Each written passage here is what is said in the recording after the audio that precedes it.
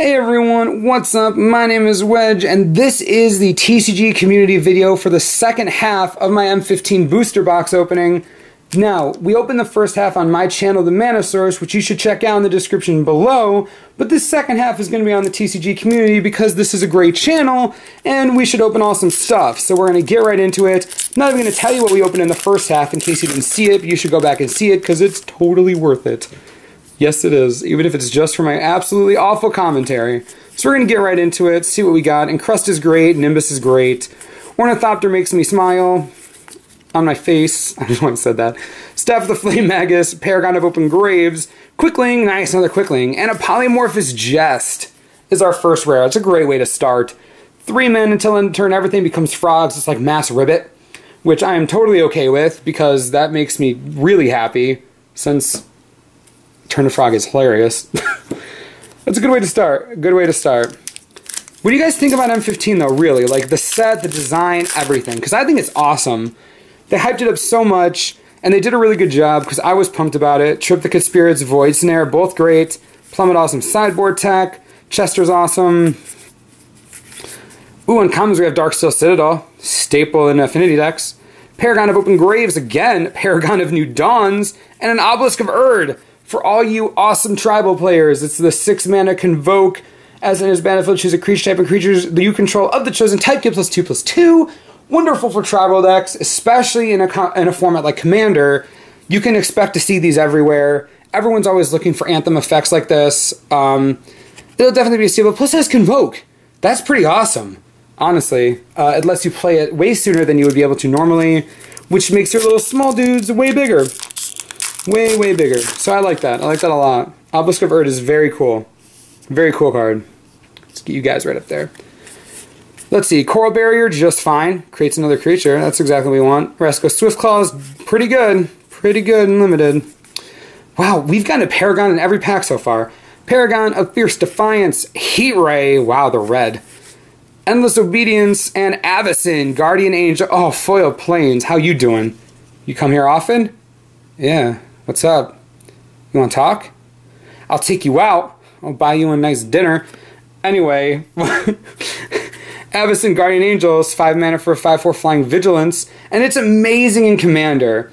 2 mana prevents all damage that would be dealt to another target creature this turn by sources of the color of your choice, or you can prevent all damage that would be dealt to target player this turn by source of the color of your choice. Yes, that's expensive, but the ability is great. Like, the fact that it's color based is really good in Commander instead of being something more specific. Um, colors help you out a lot, and Avacyn, while being five mana in Commander, let's be completely honest, that's not that bad. you should be able to you should be able to get that. You know what I mean? This is a lot better than people think. I'm not sure what its price is now, but it's probably too low for what it should be. To be honest, it is a legendary creature angel. If you get some foil ones, that's gonna be worth some serious coin. It's an Avacyn. People love Avacyn. Inferno Fist, great for limited. Great for limited, absolutely. Carrion Crow, also great. Elvish Mystic, staple. Crippling Bloodsight, okay, uncommons we have Tormod's Crypt. Into the Void, amazing for limited. Feral Incarnation and an Avarice Amulet. Avarice Amulet, most people consider to be absolutely terrible, but that's only because when it dies, target opponent gains control of it. Although, in a one on one, that's obviously annoying, but if you're in Commander, you could make alliances with people and be extremely political with Avarice Amulet. Or put it in a Zedruu deck, where you actually want to give your opponent things. Um, I think this card has its uses. People rag on it way too much. I think it's perfectly fine um, in a format like Commander and multiplayer formats. It's super political. I enjoy it. I enjoy it a lot. Because it's a super game keep. Yeah, yeah, yeah. Target opponent. Yep. Card's awesome. I think it's very cool. We're all up on this wall of fire plan today. Oh, Vaporkin, cool. Black Cat, meow. It's my description Black Cat. the comments we have Constricting Sliver, easily the best sliver for limited. In except Venom Sliver's close, but I think Constricting Sliver's ability is way is better. Of the Sun Magus, Sacred Armory, and Aether Spouts. Yeah, what's up, my new sweep spell? If they don't print a 4 mana Wrath and Khans, you're our premier removal spell. 5 mana instant for each attacking creature its owner puts on the top or bottom of his or her library. I think this card is great. Yes, it's 5 mana, and not 4, but 1, it's instant speed. 2, it's mono blue, which should make it easier to cast, at least for me. And 3, it gets around indestructible, 1, which is wonderful, and auto kills tokens, which is also wonderful. So I think Aether Spouts is seriously undervalued. Um, it'll definitely be worth a whole lot if Khans comes out and doesn't bring with it a Blue Eye Wrath. Aether Spouts is where you're going to be looking for your premier removal. So I would keep that in mind. Aether Spouts is pretty great. Aether Spouts is pretty, pretty great. Yes, sir, yes, sir. We've only pulled white, blue, and artifacts. I'm totally okay with that. This is this is how I want my whole life to be. This is wonderful. Lightning Strike, great. Griffin's Eye, Rhino's okay. Witch's Familiar, staple. Look at that guy, he's huge. Maggot's really good. It's definitely undervalued. Venom Sliver, talk about the other sliver that was really good and limited. It'll be uh, it would be our Death Touch buddy. Nightfire Giant, amazing if you're in red and blue. That red ability is degenerative as heck. Uh, Zafir Slyblade, also I think undervalued and limited.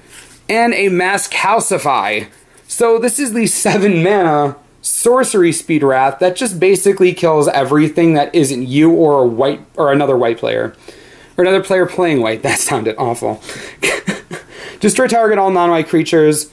Um, it's expensive, that's true. But it'll still see play in Commander because it's a mass removal spell. And that's kind of what they value.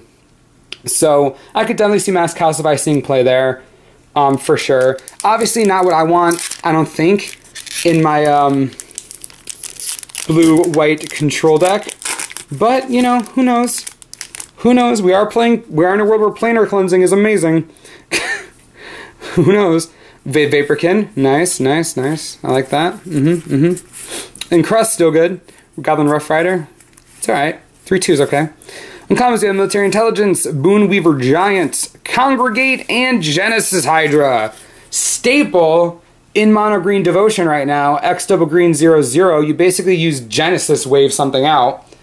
You Genesis wave one thing out based on whatever the X value is, and it enters with that many one counters on it. It's just good most Hydra's weakness is that when it comes into play, it has no immediate effect. Sure, it comes in gigantic, but they could either unsummon it or kill it. With Genesis Hydra, it's a its value already happens. So even when they kill it, it doesn't matter because it's when you cast it.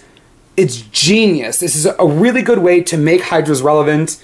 It's very clever, a really good card. Definitely going to see play for a long time. It's just it's just designed it's just designed extremely well. You know what I mean? It's just designed extremely, extremely well. Definitely a good card. Alright, let's move right along. Peel from Reality, still amazing, obviously. But whenever I say something's amazing, I'm talking about limited, unless I specifically say otherwise. Fetch lands, nice. Elvish Mystic, good and everything. Maggot's good and everything. Uncommons, Blood Host, good and limited. Into the Void, great and limited. Congregate, and limited. Waste Not, hey! Hey, this card is actually worth a decent amount of money. Because whenever opponent discards cards, it does stuff. You get a creature if they discard a creature, you get mana if they discard land, and you draw a card if they do neither of those. It's, you know what it is? It's because it's so outwardly powerful that when your opponent discards, you just gain so much value that it has value because people realize that the card's good, one, and two, it's designed by the Magic community, so it's obviously, you know, close to a lot of people's hearts. This is going to be, if you can get Waste Nots, you probably should, or foil Waste Nots, because they're, they're going to be collector's cards. Like, people are going to want these, you know what I mean? They're going to want these because it's history. It's Magic community history. It says it on the card. Also, I think it's really good in casual games and Commander. Anything multiplayer is good. And I would love to see like a modern deck with it. Oh, that would make me the happiest person on the planet. I know people are trying, and believe me, I'm the first. I'm behind you 100%. Siege Wurm, good. Good. Fetch Land, still good. Living Totem, good and limited. Dauntless River Marshal, if you're in blue, this card is bonkers. Shrapnel Blast, also good. Ancient Silverback, wow. This, okay, for being a green uncommon, this is better than most of the rares in the set for limited. It is, and it used to be a rare, so I think it should still be a rare. 6-5, 1 green to regenerate. I mean, this thing is disgusting. If it hits the board, if you can't exile it, this dude's never leaving, and he'll just take something with him every turn. It's disgusting. Soul of Ravnica, oh, that's beautiful. Foil Life's Legacy. That's our second foil rare in this box. So we got our Soul of Ravnica, which is six mana for a flyer. You can pay seven mana and draw a card for each color among permanents you control, or you can exile them from your graveyard and draw a color, uh, draw a card for each color among permanents you control. This is like my favorite art for any of the souls. I think it's beautiful. The card's okay. It'll be fine in Commander. It is a six mana six six flyer, great and limited because all souls are great and limited because of their six six flyers for six. Um, I actually love this card. I love this card a lot, but you want a staple, jeez. I mean, maybe not for standard right now, but a foil life's legacy, this has serious value. It's because the ability to be able to sack a creature and draw cards equal to the power has been around for a while. And it is quite strong and still used today. Amazing card, great card. Wow, and we were talking about it earlier on or in the last uh, in the first half of the box. This is amazing. Very cool. Very cool. Wow, yeah, that's that's value right there. Jeez. Foil Life's Legacy. Man. That is great. that is just that is just wonderful. That card's gonna be good. That's gonna see eternal play. Guaranteed. Coral Barrier for a little squid tokens. Shadowcloak Vampire, great and limited. Yep, yep, yep. Sanctified Charge can be good. Willforge Golem is just fine. Borderland Minotaur is great. Oreskos Swiftclaw is great. Meteorite is awesome. Seraph of the Mass is a little too expensive. Sacred Armory is like eh. But Siege Dragon, the red intro rare, is gross and limited. it's gross everywhere. Um, it is 7 mana, but it's a 5 5 flyer. You destroy all walls, and you deal 2 damage to each creature without flying that another player controls, so it doesn't even have. It's not everything. You get to target. Wonderful and limited. Easily first pick. You'd be hard pressed to find another card better than this to first pick. It's very good. Very good. Super strong. Super strong. Oh, jeez. I'm taking my little packs with me. My goodness. Alright, here we go. Oh man, have we got an appeal from reality in like every single pack? That's great. I'll take all of them. joking? Little lackluster on the commons this time around, but we have a Venom Sliver and a Paragon of Open Graves. Oh, and we have a Profane Memento, and oh, that is. Oh, that is. Let's just take that in together. Let's just. Hey, how's it going? Yeah, how are you doing? That is just, you really, mm, you just, you know, when things work out, they just work out. oh, you're beautiful. You're even prettier in person. The pictures don't do justice. Oh my god. Oh, you're gorgeous. Oh, man, that is that is beautiful. Absolutely beautiful. Yes, sir. Yes, sir. Big fan. Big fan of the Nissa, as you should be. Nimbus is Grain Limited, so is Nissa. Crippling Blight, so is Nissa. Or uh, Fetch Lines are great. Living Totem, so is Nissa. Dauntless is good. Restock is good. Wow. This is a lot of amazing cards. And another Siege Dragon. Oh, sweet. We got the Garruk emblem. Nice. Very cool. All right, we got our second Siege Dragon we pretty much all know what this does. You know, we just we just pulled one. So our look at that. Our Nissa's gonna are gonna snuggle with a pair of dragons. And that's how awesome she is. Yes, sir. Oh wow. Freaking freaking Nissa, right? Gosh darn it. Another appeal from reality. I guess that's like luck for us. Shaman of Spring is great. Blast Fire Bolt's alright. In commons, we have Feast of the Fallen, Feast on the Fallen, Caustic Tar, which is a win condition and limited. It's hilarious. You could play this and win stuff. Wall of Frost and a Yisan. Yeah. Yisan the Wanderer Bard is the three mana birthing pod. three mana, two, three legendary creature birthing pod that everyone's going to play in Commander for the rest of eternity and attempt to play in Standard. I know there's a lot of people doing it right now. The card's wonderful. Um, for three mana tapping it, you put a verse counter on him, then search the library for a creature card with converted mana cost equal to the number of verse counters to put onto the battlefield. So basically, every turn, you can pay three mana, and kind of go up a chain of mana, go up a chain on your creatures, um, bring something out as long as it stays alive. And that's really the only downside is that you have to keep that dude alive because it's a huge mana investment, but the ability is extremely powerful. You're talking about a selective tutor effect that's kind of letting you decide what you get, which is great. Squids! It's very good. Just like in a vacuum. Very good. Alright, uncommons, we have Staff the Wild Magus, Caustic Tar, Illusory Angel, and Obnix. And a foil first response. Oh, you're pretty. Obnix, the Unshack or Ob- Obnixless Unshackled, 6 mana 4 4 Flying Trample. Whenever opponent you cracks their fetch land, they sack a creature and lose 10 life. See, this is. Guys, they're going to be fetch lands and Khans of Tarkir because of this ability. Oh. Anyway, anyway. Obnix is pretty cool. Obviously, a limited bomb. You should get him for commander because he kind of just hoses everything. You know what I mean? He just kills. Like everyone wants to search. The whole format is based on tutor effects. You know what I mean? It's absolutely disgusting. Absolutely disgusting. All right, let's uh let's keep it going. Let's keep it going. Gross. This is not appealing to reality. I feel ripped off. Child of the Night, fine. Generator Servant, great. Great. Uncommons, we have Gargoyle Sentinel, Shrapnel Blast, another Ancient Silverback, and a Necromancer Stockpile with a foil swamp this time. That's cool. I like foil lands. Alright, so our Necromancer Stockpile is 2 mana for an enchantment. You can pay 2 mana to discard a creature card to draw a card. And if the discarded card was a zombie, put a 2 2 black zombie creature token on the battlefield tapped. People are trying to make modern zombie decks with this, thanks to cards like Gravecrawler that come back on their own. Um, I would like it to work. I don't know if it can, but I would like it to because I think it's a really cool card and the concept is cool, and I would really like that. And we got our foil swamp, so yay! Guys, three packs. Do you feel it? Do you feel it? The foil black lotus. I'm joking. That doesn't even make sense. it's like living the dream, right? Shaman of Spring, Shadowcloak Vampire, both great. In commons, we have Wall of Mulch, Love the Walls, Jeru, Jorubai, Murklurker, Geist of the Moors, Great and Limited, and Crucible of Fire, because dragons in Tarkir. Dragons in Tarkir. Seriously though, dragons in Tarkir.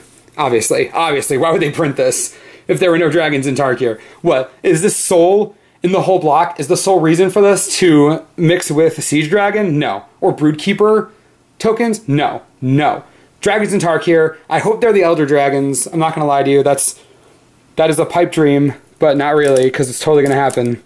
Third set, Dragons of Tarkir, calling it. We're gonna have so many dragons that the world's gonna go nuts. Okay, I'm pretty sure we've gotten a Sungrace Pegasus in the last like 10 packs. About. Shadowcloak still great. Flesh to Dust still great. Chester's awesome. Kird Chieftain, first response. Kird Chieftain's great. Rogue's Gloves and Hornet Queen, another staple in Mono Green Devotion. Four colorless, three green for two two flying death touch. When enters the battlefield, you get four one one flying death touch insect tokens. This card is like so much value, so much value. Yes, it's seven mana for a two two, but you're getting six points of power. So seven mana for a six six fire, pretty good pretty good on a non-mythic card. One, two, death touch on everything. You want to talk about profitable trades? If they don't board sweep, they'll never attack you. They'll never attack into you again unless they give everything first strike. And let's be honest, in standard right now, first strike not that prominent. Yes, some creatures have it, but not a lot of them. And death touch reigns supreme right now. Hornet Queen staple. That goes with our Genesis Hydra and Nissa. Guys, we're like building mono green devotion right now. We're building mono green devotion. All we need is a foil Nissa out of this pack, and then boom, we did it. The deck's over. Print. Another Sungrace Pegasus. You're like chasing me, bro. Flesh to Dust, great. Great, wonderful. Netcaster Spider, amazing. Maggot's good. Alright, here we go. Last pack. Staff of the Flame Magus. Gravedigger, awesome. Battle Mastery. Haunted Plate Mail. 4 mana, quick creatures plus 4 plus 4. You can pay 0 and make him a 4 4 spirit artifact creature that isn't an equipment as long as you control no other creatures. I've seen people use this to great effectiveness in limited. So if you get this, you can pick it up. Just realize that you need a synergy or you need a deck that isn't based around it, but synergizes well with what it's trying to do. So keep that in mind. It could be good value in limited. Um, just don't get trapped by it. Just don't get trapped by it. All right, so let's go over all of the amazingness that we have accumulated, shall we? Shall we?